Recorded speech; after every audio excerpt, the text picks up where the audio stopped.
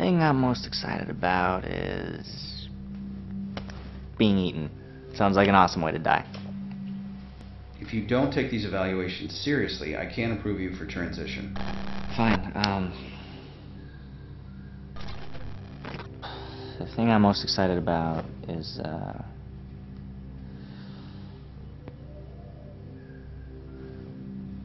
when I was a kid, we went to the Natural History Museum, and I saw this skeleton of a T-Rex.